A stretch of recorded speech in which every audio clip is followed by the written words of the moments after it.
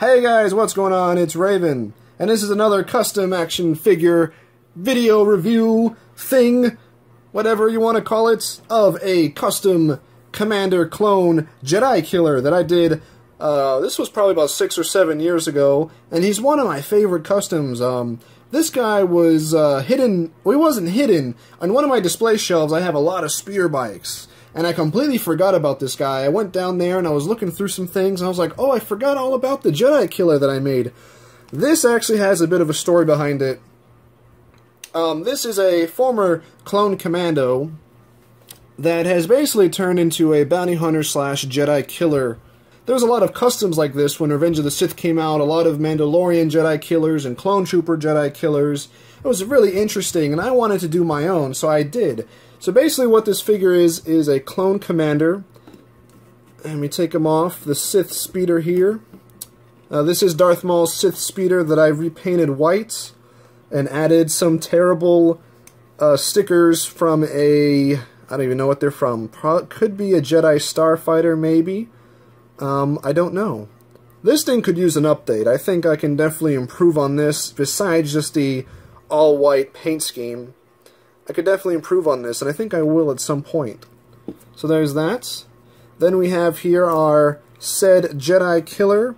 Now he has a couple different parts on him. First, um, he's wearing a pauldron from an ARC Commando. He's wearing his kama, but I have cut out the skirt, so it is just a belt now.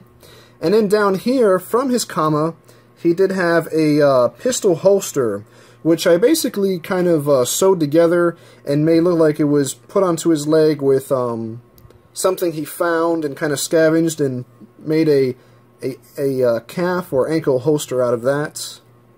And then um, have his gun here. I believe this is uh this is Boba Fett's gun, isn't it? I think it is. And I painted in some silver on it. This guy has a basic silver paint scheme. Oh, and he also has a Jango Fett gauntlet from the deluxe Jango Fett.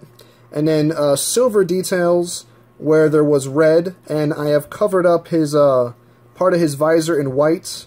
I always kind of like that Commander Neyo look, so I wanted to mimic that a little bit. And then the top of his head is all silver, and he has a silver stripe down one eye. And then silver where that red stripe used to be. And then, um, like with my other customs, this is a old urban camouflage t-shirt that I made into a kind of uh, over-the-shoulder style cape.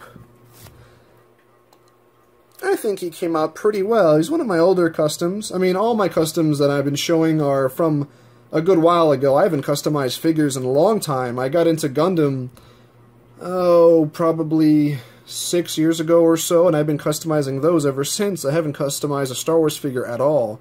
But I wanted to show you guys these because I think some of them are rather noteworthy. Some of them are noteworthy in bad ways, whereas they are very bad and laughable customs. But like I said, this video is about sharing creativity with all of you and uh, just kind of sharing my what work I've done and the progression over the years I have. Because everyone has that. When you start doing line of work, whether it be any kind of customizing or any kind of trade, it doesn't matter. It could be graphics or video editing, could even be as a mechanic. You have a body of work that continues to evolve and hopefully you learn and it gets better.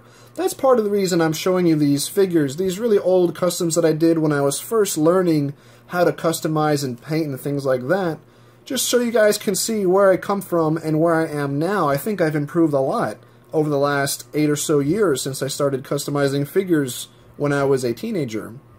So I'm going to leave you guys with uh, my Jedi Killer here.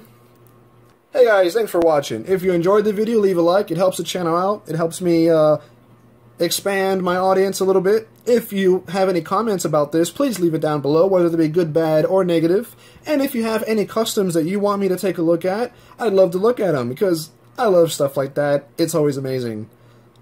Also in the description, you can find a link for the eBizzle at Captain Raven on eBay.com, also my Star Wars The Old Republic referral link. And I will be doing Star Wars Old Republic videos in the future, if I haven't already by the time this has come out. So guys, thanks for tuning in. I'm working on some big projects right now. Some may already be out on the channel. I've done a lot of these custom videos in advance to fill out the time in which I won't be able to post videos as I'm working on projects that are very long or very video edit heavy. I can put these out very quickly so you guys have something to look at if you want to take a look at some of these custom figures while I work on my bigger projects. So thanks for tuning in. May the force be with you. And of course, Sieg Zeon!